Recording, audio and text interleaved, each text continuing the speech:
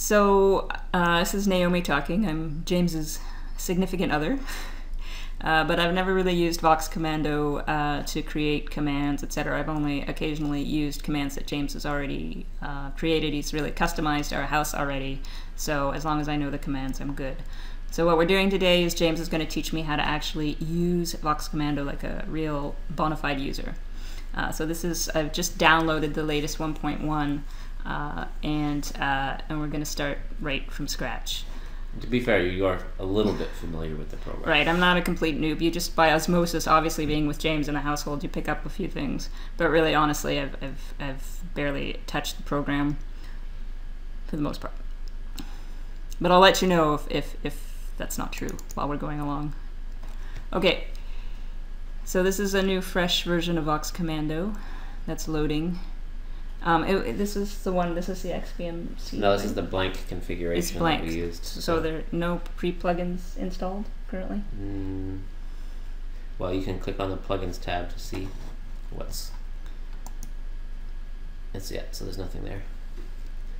Nothing, no plugins have been installed yet. First thing I'd like to do is turn it off so that it's not listening to everything we're saying while we're trying to edit. Okay. Oh wait, it's on standby. So why did that happen? I don't know. Try again. Okay, so red. Red means no. What happened was it heard us saying "Don't listen" just as just as you were clicking the off button. Oh yeah. So it right, activated right that here. command. Okay. Um, so what do we want to do for? Do we want to install a plugin or just? Did you want to do a web? Okay. Open a web page. Right. So let's say I wanted to um, just open webmail, open Gmail, Gmail in my web browser. Okay. So I I need to create a new command for that, basically. Yeah. Yeah. So you know that you need to go to edit. Yeah, so to create a new command, I already happen to know that I need to go to edit to create a new command. And these are the default commands that are already installed in this very basic version of VoxCommando.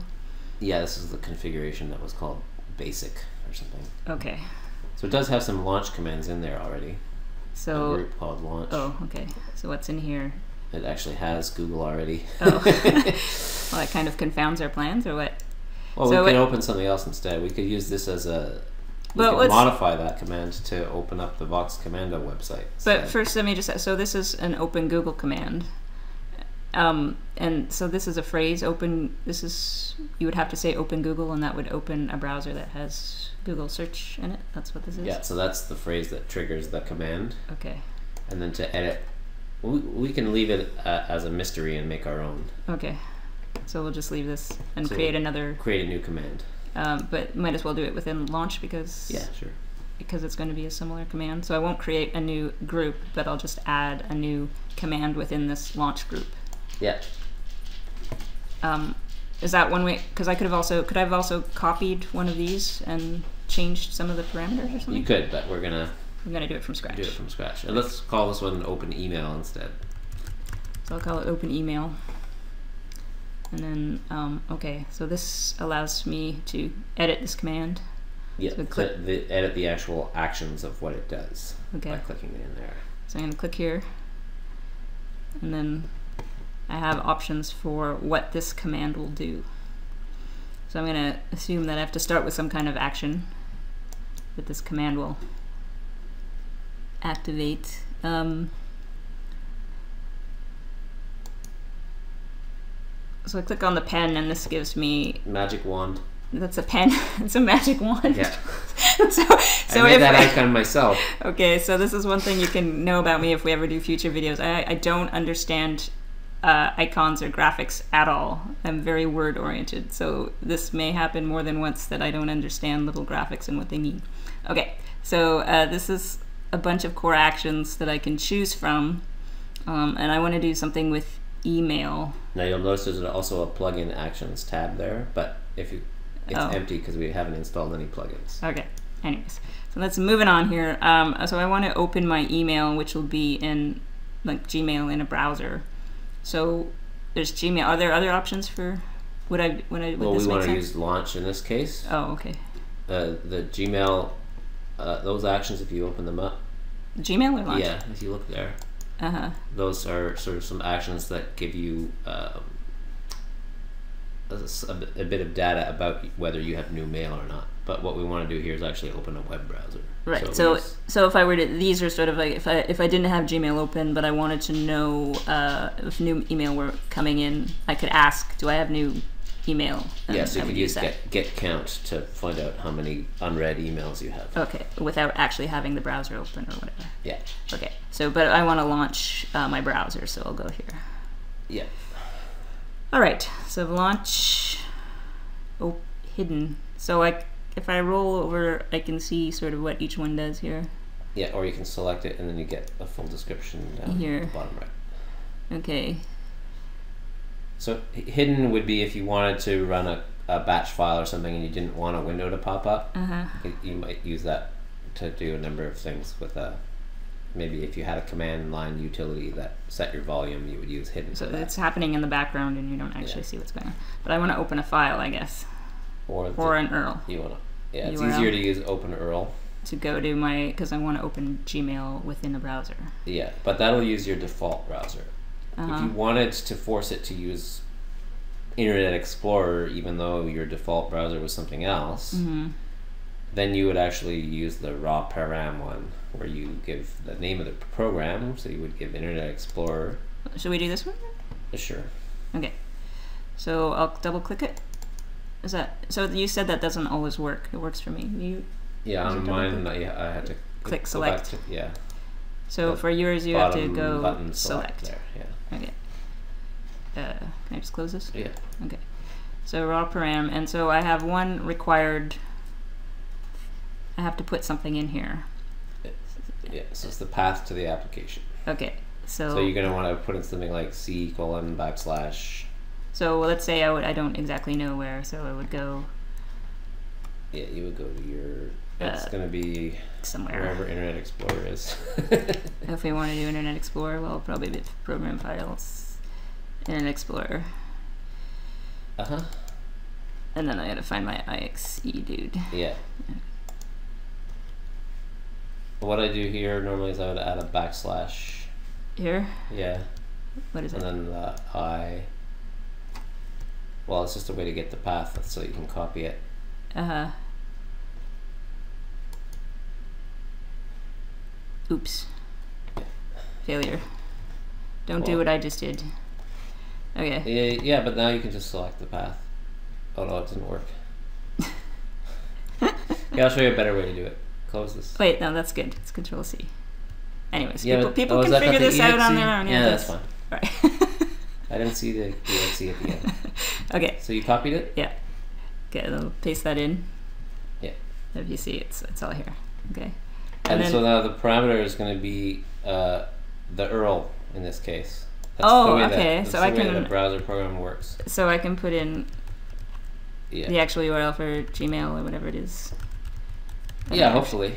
I don't know if that's actually right, but we'll, we'll Okay. find out. So now you don't have to use the voice command to test it. Uh huh. You can just click save and execute. Okay. Looks pretty good. So I'm not I'm not logged in here, which is why Yeah, I'm on the but it screen. But it, the it right. but it worked. Address. Yeah. Uh, is that and it's actually using Internet Explorer, right? Yeah. You that?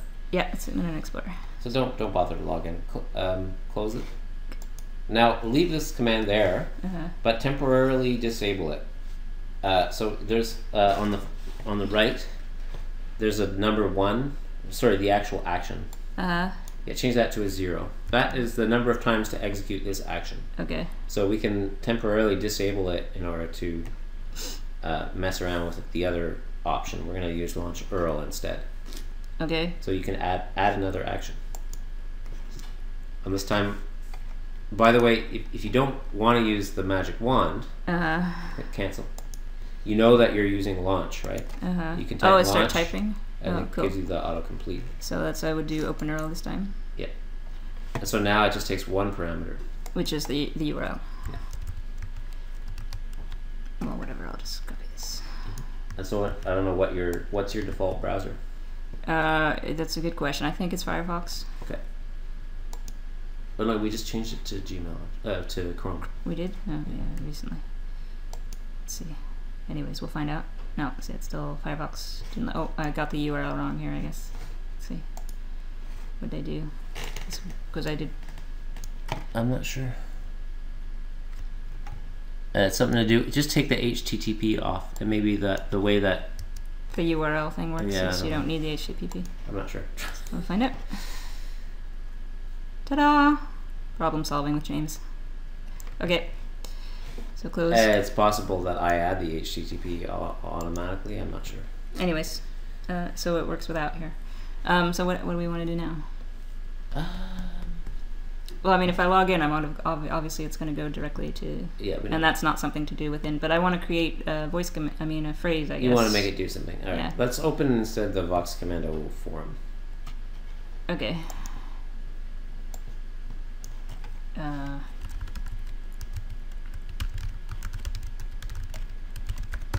Okay. And now you can delete the other launch raw param. And you can save this uh, by, and you don't want to execute it, just click OK.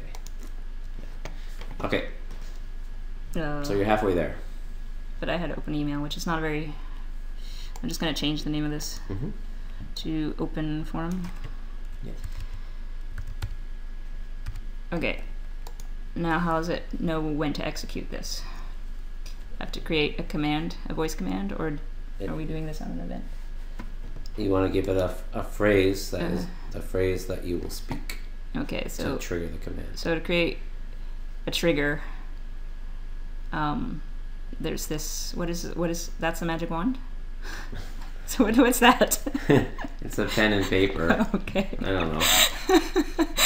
Okay, so I have is- different it's options. the written word. for ways to ways of triggering this uh, this action So the most Uh, basic one is just a is phrase. a phrase, and this is super easy. So actually, oh, it, by default, because I called it that, is so Yeah. that can become one of the phrases. But I could also say something else, like comma, and put in another phrase, right? So uh, show me the forum, something like that. It's fine. Yeah. Um, do I need to do? Do I need to save now to do that, or yeah, for it to activate? Yeah, you'll save, and then when you close the window, it'll actually then it will update. Okay. Is that right? You think that worked? Um, It didn't seem to update anything. no. Uh, let me just look and see what happened with that command. Open forum. Looks right. Uh huh. Okay.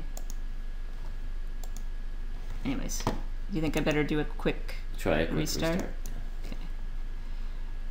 So as you guys can see, I, I do know a little bit different things I can do. What's in the menus? All right, so let's It try. did rebuild the. It, it did rebuild the group launch. oh yeah. Okay. So hopefully that's. All right, so I'm gonna go to green, so it's listening. Yeah. Open forum.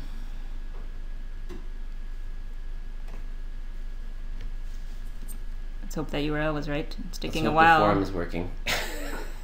It's not showing the URL yet. Oh, there it is. Ta-da! So that worked. It's just that my internet took a while to load the page is all.